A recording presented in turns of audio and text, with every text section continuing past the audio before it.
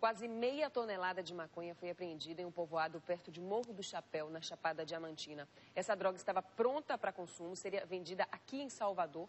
Uma denúncia anônima levou policiais civis à comunidade de Queimada de Durval, onde foram encontrados e destruídos mais de 4 mil pés de maconha.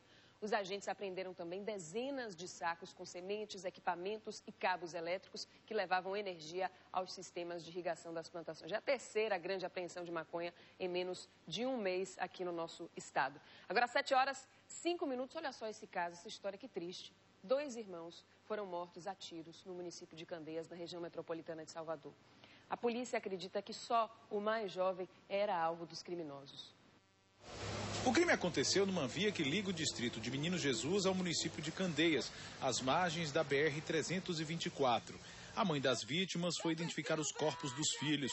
Os irmãos Wellington e Cleiton Sampaio Nascimento, de 17 e 20 anos, iam para o trabalho nas primeiras horas da manhã de ontem, quando foram assassinados. De acordo com a polícia, o mais jovem foi morto com 11 tiros a maioria no rosto. Cleiton, que apenas acompanhava o irmão no trabalho de descarregar carretas na estrada, também acabou morto com sete disparos. Os autores do duplo homicídio ainda não foram identificados. A delegacia de Candeias investiga o crime. A mãe das vítimas disse que não sabe por que alguém mataria os dois meninos. Ela ficou desesperada quando reconheceu os filhos. Veja como foi. Por que deu essa dor pra mim, Senhor? Por que meu pai me deu essa dor, meu pai? Eu queria meus filhos, meu Deus. Eu queria meus filhos quebrando brita, gente. Já pra meus filhos roubar o que é dos outros, meus filhos nunca roubou, gente. Meu filho nunca roubou e nunca vendeu droga, gente. Por favor, gente, por que fizeram isso, bichinho, é pra Molisa? Riscando a vida dele, velho. Descarregando o piso, gente. Descarregando piso. Todo mundo aqui dentro gostava de meus filhos. Agora pense comigo, você que é mãe de família, que trabalha duro para sustentar seus filhos, ela disse aí, eu sustentei esses meninos é, quebrando brita. Você que sai de casa de madrugada, que volta à tarde da noite para dar uma vida decente para os seus filhos, que vê suas crianças estudando, trabalhando, também tentando viver de forma honesta. Imagine a dor dessa mãe. Você vê que é uma mulher humilde, né? uma família de poucas posses. Infelizmente, você acha que essa mãe, que essa família vai ver os autores do assassinato dos dois filhos dela na cadeia? A polícia tem tantos casos para investigar, tantos homicídios que acontecem todos os dias. Agora pense comigo, como é que fica essa mãe agora com essas duas crianças mortas? A dor né, de ter os, dois filhos arrancados assim dela, né, dois tiros. Ela disse que um dos meninos ajudava muito em casa, que era quem cuidava dela, que inclusive chegou a enfrentar o pai para defender a mãe de uma agressão. Ouça. Aquele menino ali me tirou da vida do pai, pro pai não me matar, a gente já enfrentou o pai. O pai já botou ele pra fora com 10 anos de idade, gente. E ele saiu. Porque o pai queria me matar e ele me socorreu da garra do pai. Olha pra mãozinha do meu filho, deixa eu pegar na mão dele só um pouquinho, gente. Deixa eu pegar ali naquela mão dele ali. A mão de Ué, de Dudu, meu Deus. Olha meu filho, olha meu filho. Oh, mãe. Por que tu morreu tão longe de mãe, meu filho?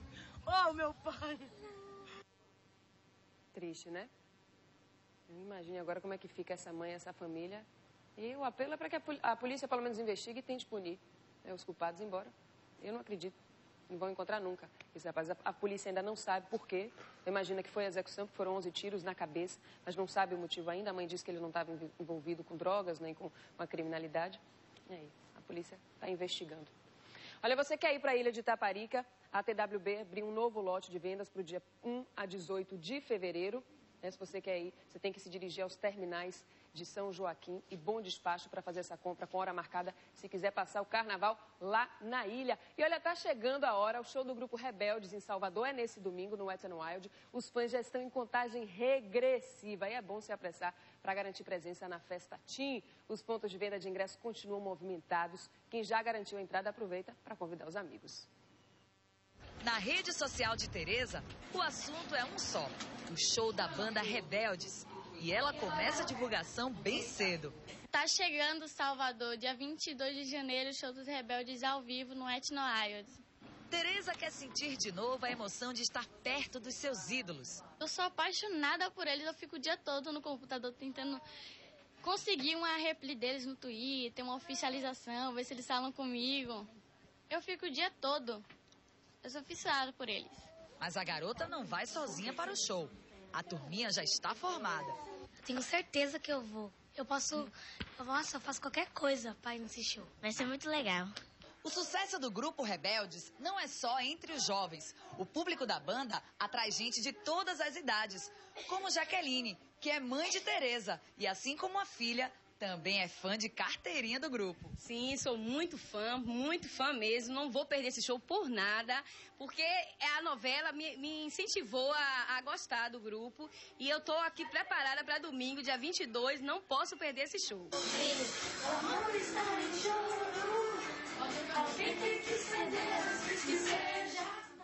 A novela Rebelde já ultrapassou a marca de 100 capítulos e é hoje considerada um dos grandes sucessos da teledramaturgia da Record.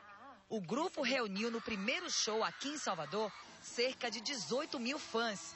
E para a primeira turnê 2012, se depender de seu Antônio, que chegou cedo no shopping para garantir o ingresso da filha, esse número pode aumentar. O sonho dela está realizado para conhecer o grupo, assistir as músicas, todo o show completo e só felicidade e alegria. Agora então é ensaiar os passos para curtir o show tão esperado.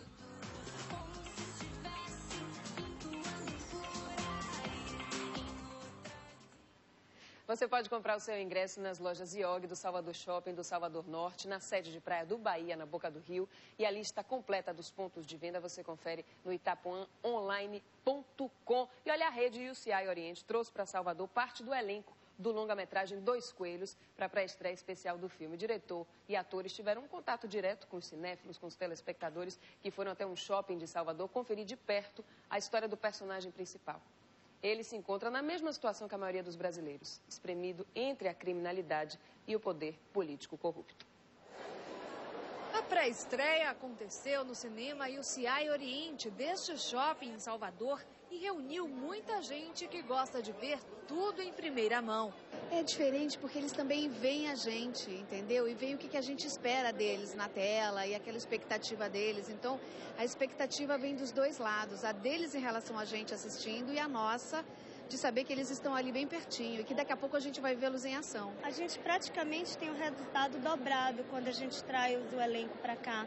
As pessoas elas se sentem mais, mais próximas do filme e aguça a curiosidade. Então, quando vem um elenco de produção nacional, o resultado é muito satisfatório. Então, sempre que a gente pode, a gente traz. Cheio de explosões, tiros e efeitos especiais, o filme Dois Coelhos conta a história de Edgar, interpretado pelo ator Fernando Alves Pinto. Cansado de viver entre a violência e a corrupção, ele decide fazer justiça a todo custo, em uma trama intrigante com muito suspense. Que neguinho marrento!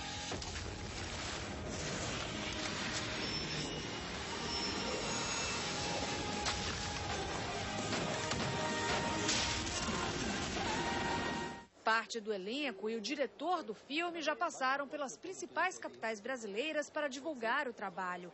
Nesta quinta-feira, vieram acompanhar esta exibição ao lado dos soteropolitanos. Salvador é uma, uma praça super importante para o cinema. É, quando eu vejo assim o cinema cheio, eu fico super feliz assim, até eu, a responsabilidade é grande, né? É muito legal a resposta do público.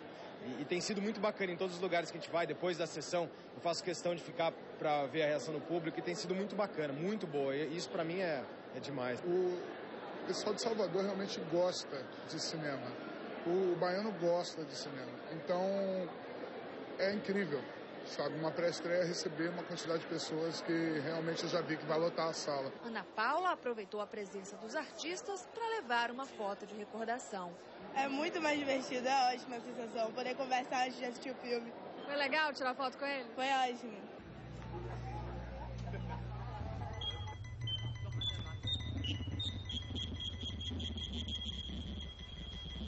Uau.